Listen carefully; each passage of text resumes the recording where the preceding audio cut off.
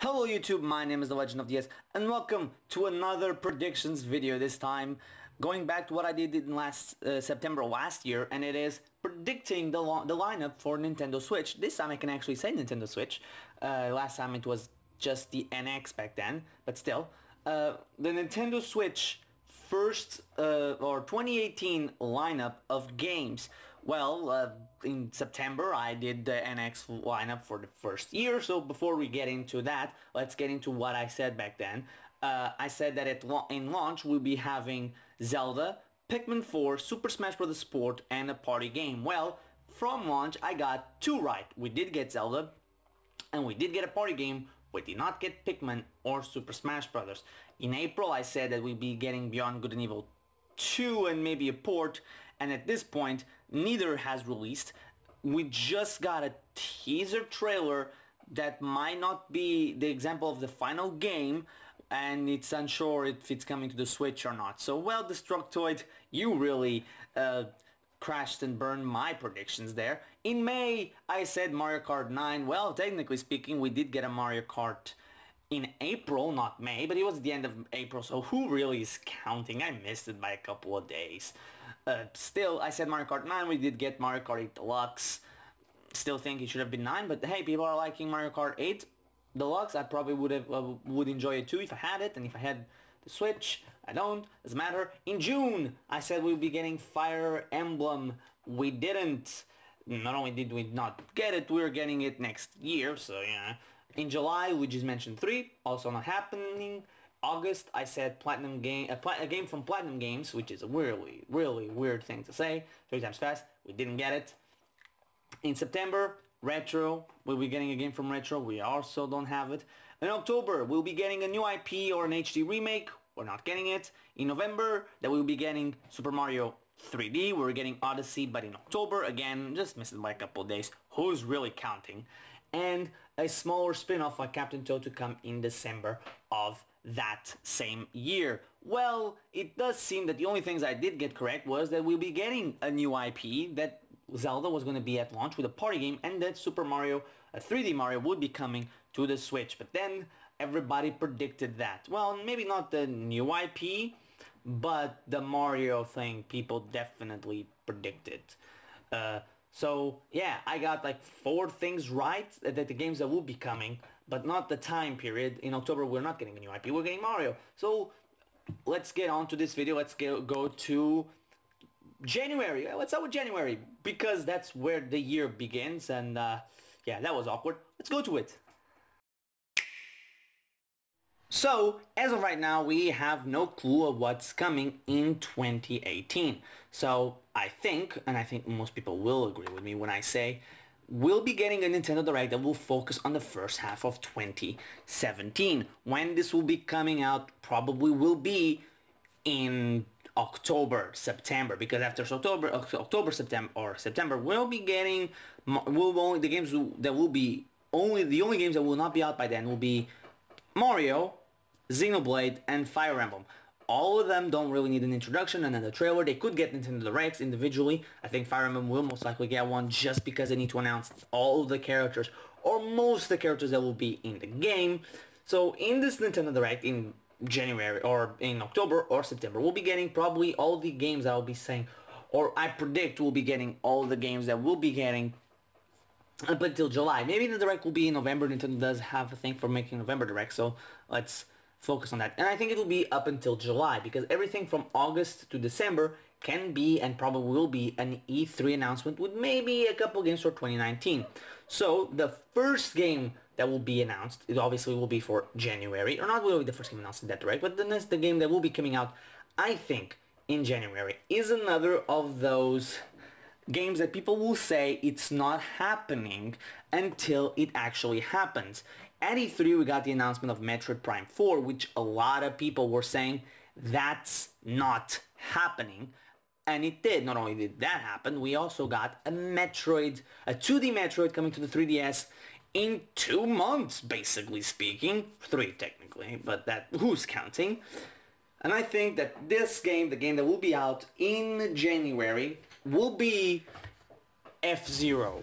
Now, sure, if F-Zero is in the works and if F-Zero is coming that early in the year, why A, haven't they said anything, and B, why so early? Well, here's the thing. F-Zero, unlike... Uh, the reason why I will say that it wasn't at E3 is simple. The fact that Nintendo announced Pokemon, the fact that Nintendo announced Metroid Prime 4, it would be overshadowed. Now, sure, you could say, but that's a pretty big announcement on its own, and it is. The problem is when you add it to that fantastic Mario trailer, and the announcement and the, the, the, reveal, the teaser of Prime and the confirmation of Pokemon, the game might have lo been lost a little bit in the shuffle. So getting announced obviously with a load of 2018 games, but being the first and obviously the focus, it's far more important. And F-Zero, and let's be completely honest, in the, the fact that Nintendo needed to make a big announcement, or wanted to make a big announcement, they had to choose Metroid or F-Zero. F-Zero, the last three games did not sell so hot, all of them under 1 million, and the three of them combined barely scrapping that 1 million mark or barely surpassing it. That's not good. So if between the two and Metroid is the better seller, it's the more recognizable thing, it's the most uh, franchise, the most recognizable IP, and it, in a way, it has more ways uh, for Nintendo to make amiibos. I mean, sure, you can make an amiibo out of all the cards in F-Zero, but the fact that you have a Samus amiibo and the Metroid amiibo obviously made it more important. F-Zero, in my opinion, will be that game that they reveal first, show at the beginning, uh, launch at the beginning of the year, because it could, be, it could and probably will be a big deal. Who, because it's the first, it's one of the big games that people have been announced asking forever outside of F-Zero, the only thing Nintendo could announce that would be bigger than F-Zero, after obviously, given the fact that we already have Metroid announced, would be Mother 3. It's the last of the trilogy, let's put it this way, of the trio of games that people absolutely want to see Nintendo make. And starting off Jan the year of 2018 with a game like F-Zero that's such a thing that fans have been craving and wanting forever, launching it at the end of, of January would be a brilliant move in my opinion. So now let's move on to February and um, I think uh, Yoshi will be the, the February game. There really isn't much I could say about this. It's the one of the only three games that we have confirmed for the Nintendo Switch coming out in in 2018 in my opinion, obviously it's going to be a, a, game launching in the first half of 2018. Uh, well, duh. But no matter what, I think that there's only two games that this that um, two other games that could launch in February, and they are kind of interchangeable during these predictions with with Yoshi. And one of them is F-Zero, and the other one is Kirby, which I'll be talking later. They could be, all of them are interchangeable, and all of them could fit in January, February, and I'll get to it when I get to it. Uh, for Kirby, I think all of them are interchangeable, all of them are easy to, to put to place, let's put it that way, and all of them can be put in the place of the other. I think Yoshi being a February title is perfectly fine. It's a game to hold every, but much like F-Zero, to start the year well, but also keep that momentum, the ball rolling as we get into the bigger games, which will be March and May, in my opinion, until E3 when then every then it's a, a snowball effect. So now let's talk about March and what's the game that's going to be launching in March. Well, in my honest opinion, it's going to be Fire Emblem. 2017 we had the launch of the Switch with Zelda and one of the first games, actually the first franchise to be practically announced for the Nintendo Switch after that reveal uh, that was not coming out in 2017 from Nintendo, it was not Metroid, it wasn't Pokemon, it wasn't uh, it wasn't F-Zero, Super Smash Brothers, it was Fire Emblem. I think Fire Emblem will be their March game, the, the one that's like F-Zero and Yoshi, or maybe even Kirby, are the ones that are there as holders, holding the momentum, keep pushing out systems. Obviously not major systems, I don't think F-Zero or Yoshi will be those big movers. And then in, in March, you launch what it's now becoming one of Nintendo's most one of the most probably most pro profitable and bigger IPs in Fire Emblem. Fire Emblem Heroes made them bank, made them more money than Mario uh, Run. So maybe putting it in March, keeping that ball rolling and then creating a little bit of a snowball effect because yeah, F-Zero will be a big game, will be a big announcement and people will be excited for. Yoshi, a midway game where it's one of those games that's like, it's not a system seller, but it's one thing that adds to the collection and adds to the value. Obviously, no, I don't think, I'm not saying that people won't buy the console for Yoshi, I'm very doubtful, but when you have Yoshi in the collection will be in, in, in the lineup of possible games that you can buy, it's also nice. And I think Fire Emblem is one of those games like it launches, people will buy the system for it. It's obviously, I think, one of the one of the, the different uh, variety of games. And also, if you look at it at this point, the Switch will only have one RPG, and that will be uh, it will it will be Xenoblade, and this Fire Emblem will be a strategy RPG. It will be obviously will be different, but oh no, yeah, yeah, Mario Rabbids. Sorry, I forgot about that. But it will be especially if it's well done and well um, advertised, will be the big game for, well, I almost said the big game for the first half of the year, but it won't because there's another game I think it's going to be coming out for the first half of the year with bigger in it. But yeah, Fire Emblem in that March position to be the big game for the first quarter of the year would be, and I think it is, a really uh, good idea. And now, on to April, it will be the launch of a game that I thought was going to be a Switch launch title. And since it's the fourth month of the, month, the year, it will be good to have the fourth entry in this series. And I think it's Pikmin 4, the game that will launch that will launch in April 27, 2018 for the Nintendo Switch. Why? Well, it's easy. It's a game that has been announced. It's a game that's been confirmed. It's moving along my idea or my train of thought as to why this will be an April game and why we haven't seen it yet is quite simple. Pikmin 4 most likely, most probable, began development as a, not as a Switch title but as a Wii U title. Given that it was, like I said, most likely a Wii U title, this could mean that Nintendo has been putting it back in the back burner until it could be until it could launch with the Switch or after the Switch. Now, obviously, Nintendo could not just release the game now. Why? Because it also is going to be something else I'm going to say later on when I get to October and November. It, it has to do with the launch of the lineup of the 3DS. Much like Fire Emblem, that I forgot also that, is that Fire Emblem right now Fire is stated as 2018. We haven't seen it yet, not just because Nintendo doesn't want to show us the game already, is because they still have the, um, this little game called Hey Pikmin. And there would be a conflict of, of interests, let's put it that way. In Not really conflict of interest, but if you why would Nintendo avidly or market and show us Pikmin 4 with a Hey Pikmin literally coming out in July. They're gonna wait and then speak about it. Heck, at E3 people asked Miyamoto about it and he said, PR does not allow me to speak about it. And then PR came out and said like, Pikmin 4 is coming along.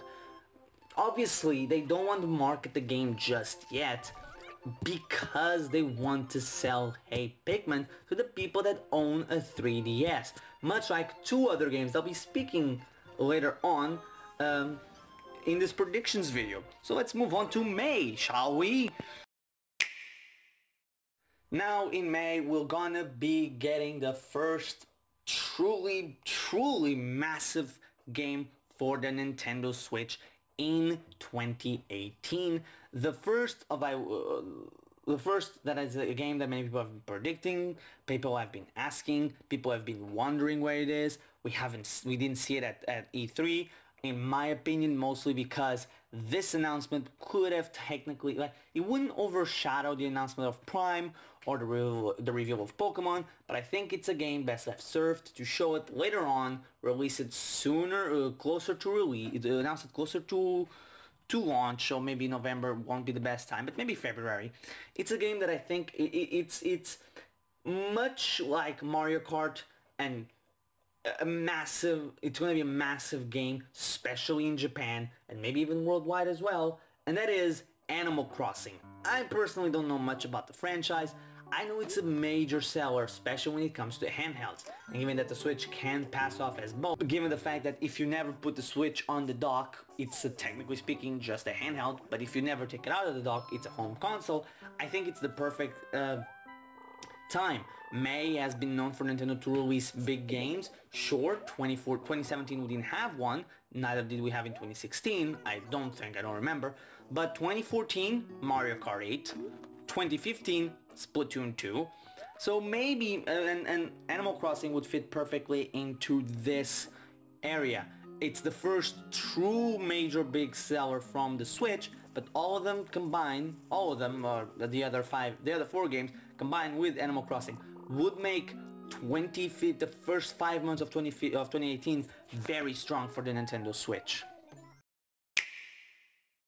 Now, let's talk about June, and June will most likely be Kirby. Like I said, and this was the title I was saying, Kirby alongside Yoshi and F-Zero are games that I think are interchangeable in this list about where they launch. F-Zero could be the second game of 20, 2018 after the opening being Kirby or Yoshi. Uh, F-Zero could be here like at, right after Animal Crossing and right before or after E3 to just ride the, the hype of E3. I don't really think there's much to say. I just think that Nintendo would have not shown Kirby or Yoshi uh, at E3 had they, would they not be early or mid mid 2017 titles. So yeah, Kirby I think it's the the the, the sixth uh, game and the the last game of the first half of 2018. 20, yeah, 2018. So so yeah, that's all there's is there is to say about this one, huh? Let's move along, shall we? Next, let's move on to July, which I think it's not going to be announced in that November Nintendo Direct. I think it's most likely going to be announced in an April Direct or even a May Direct. Not, I don't see it being announced at E3 because it will be like a month before. And that will be Luigi's Mansion 3, developed by Next Level Games. Now, sure, Next Level Games was working on Metroid Prime Federation Force. However, Federation Force by the time of this game being released will be what three years?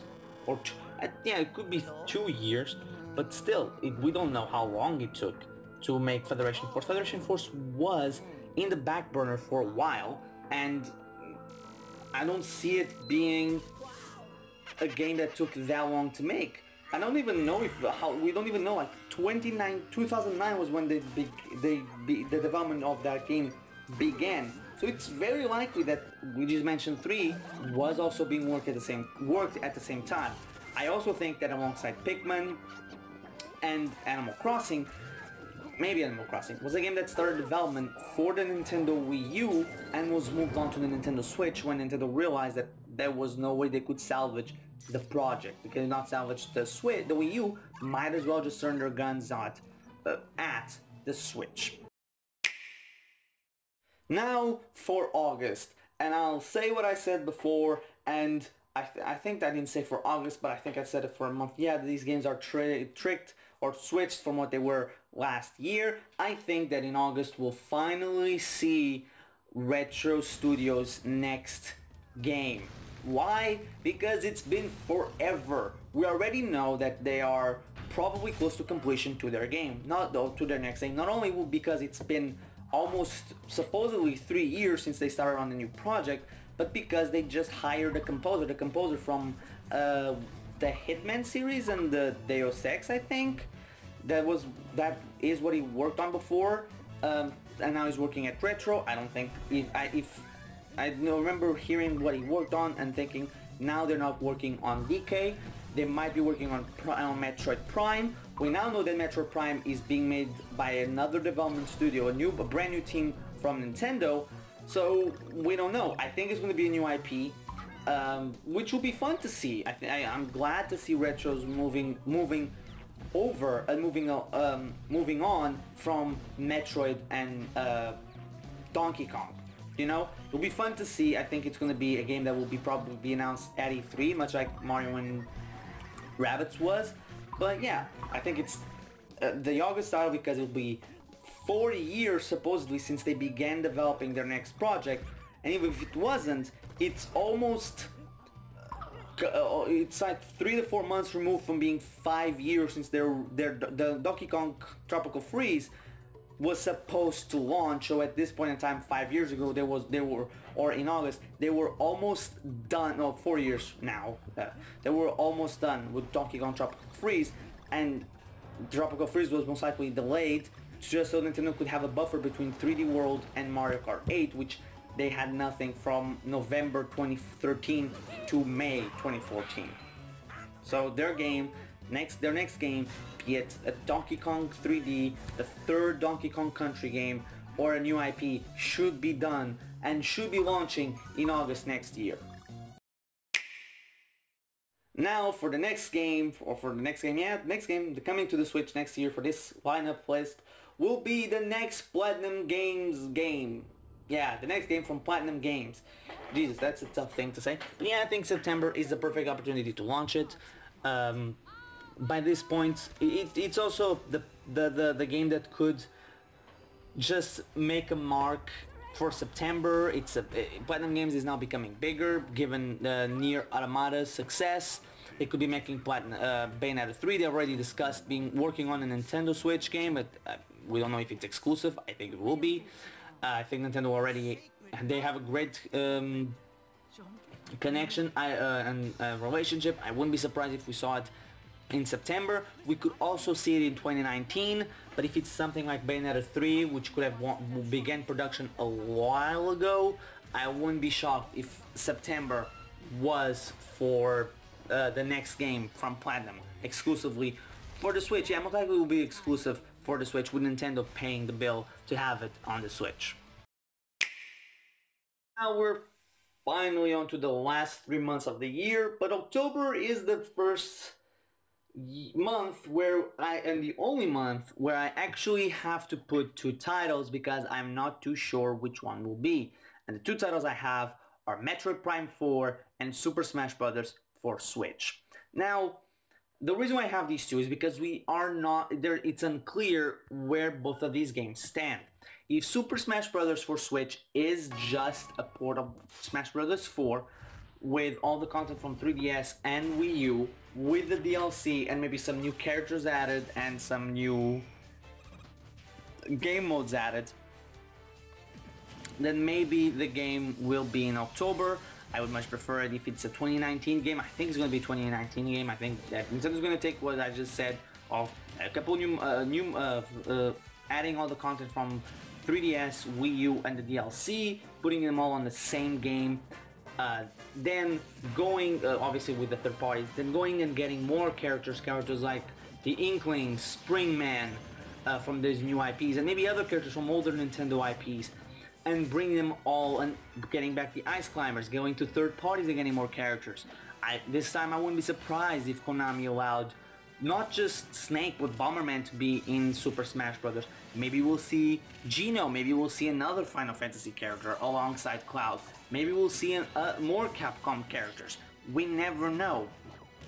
But on the other hand, there's also Metroid Prime 4. Now people are very much doubting that the game is a 2018 game. They're very much calling it a 2019 game. Uh, a recent rep from Nintendo, recently rep from Nintendo said that uh, the game alongside Pokemon were scheduled for this year. We don't know. Obviously, we have to wait and see if it's 2018. Um, but Nintendo then came confirming that they don't have a date for the game, which to me seems suspicious that they came out and says to just say, uh, maybe we, there's no date defined for it personally, I think that a lot of people are taking the fact that we just saw the the screw attack and the Metroid Prime 4 logo to mean we are only getting the game the game is ways off. I don't believe that personally. I think that the game is far closer than people are giving it credit for. I think that development here's the thing, the person the director of the game is Tanabe, the guy that produced the Metroid the trilogy and Metroid Prime Federation Force he ended development of Federation Force last year, or yeah, 2016. So 2018 would be two years after that. Now you can say there's no way they're going to do it. Why would they do it? 2018, two years is not enough to make Metroid, a Metroid Prime game. Here's the thing. In 2000, Nintendo gave Metroid to Retro, and in 2002, they released Metroid Prime. Metroid Prime 2 also, I believe, came out two years after that, and three years after that came Metroid Prime 3, mostly because it was on the Wii, and the, you know, the Wii launch was pretty packed, and only launched in November, so there was no point in having the game at launch. I think the reason why we got the logo is for the same reason and I'll discuss it. There's a reason for it. I'm not going to discuss it now. I'm going to discuss it in a little bit when I talk about November's title. But I think that's the point. They have other things to sell, which is Metroid Prime, Metroid uh, Samus Returns, and this three uh, that that is a 3DS game. Before they have to focus on the next Metroid, on Metroid Prime, and start selling that. I think that the only reason why the game was announced was because was not to create anger over the fact that we would not be getting a main a Metroid game onto the Switch, like it happened for Pokemon. The Pokemon announcement uh, during during uh, the Nintendo Direct and during the 3 I think was just to appease fans to make them like, calm down. There are Switch games coming. You know, just calm your tits. They're coming, and I think that Prime is a 2018 game. We saw it a little bit too early, but I think it's far more in production than people think and give it credit for. Uh, between Metroid Prime 4 and Super Smash Bros. for Switch, I think Prime 4 is the game that's coming in October, with Smash being a 2019 game that will be announced at E3 for 2019. And now let's move on to, 20, to November and the one segment that will be edited, uh, recorded, uh, not recorded, uh, edited, rendered alone so that I can upload it to YouTube to make sure that the company making the comp one of the companies responsible for this doesn't block it worldwide. And that game is Pokemon now Pokemon is a little weird. Um come given the fact that um people are also very much in doubt that this game will come out in 2018 why wow that was a, a, a bad voice crack there why because they said in a year or more during Nintendo's E3 presentation. People forget one thing. The announcement came in in June. A little over, it might come out uh, over a year from now. It might mean July. Now, Pokemon games have been coming out routinely from every year. I personally think that we're gonna get the Switch game next year. It's far more along than people think. I think they began development for it right after they finished, uh, or right before they finished Sun and Moon began developing it. Uh, I think it's probably closer to fin being finished than people think, much like Match My uh, Prime 4, and it's gonna be Generation 8 of Pokemon. There's no doubt in my mind that we'll see Generation 8. It will be a massive uh, November and holiday title, and, uh, and now get, release the game with a price cut on the Switch to from three from 300 or 330 in Europe to 250, maybe 280 for Europe, and you you just have to sit back, produce enough systems, and just watch watch the cash coming into Nintendo because that would be a massive seller. Now we reached the last game that will, I think, come out for the Nintendo Switch in 2018. That is a small spin-off like Captain Toad. Heck, it could even be Captain Toad 2. Um, we did not get it this year like I predicted it. Uh, I think we're gonna get it next year because it it's a small game and I think it's uh, last year I was most of the of the thinking of like the game Super Mario 3 the next 3D Mario might be done or close to being done by then so they might have some free time they didn't but every like the Captain Toad came out a year after Mario uh, 3D World. 3D Land came out a year after Galaxy, and normally that's it's it was a smaller game. I think that Captain Toad will be that smaller game that the Mario team works on for a year and launches it a year after Mario Odyssey. So yeah, there's not really much to say about that one. So yeah, let's move on to the outro. So let's go on with a quick recap saying the name, the game and the month that I think. I predict they'll be launching in. So January we'll be having F-Zero. In February it will be Yoshi. March for uh, with F-Zero with uh, Fire Emblem. Pikmin 4 in April, May with Animal Crossing, Kirby coming out in June, which is mentioned a month later in July.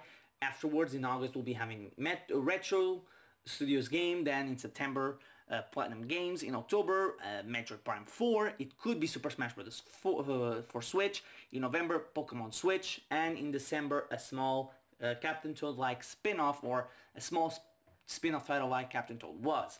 So yeah, those are my predictions for what 2018 has in store for the Nintendo Switch and for Nintendo Switch owners. So uh, tell me in the comment section what you think about it. Remember to like and subscribe this video for more. Uh, and liking obviously will help out the channel. So thank you for watching. I've been the Legend of DS and I'll see you guys next time.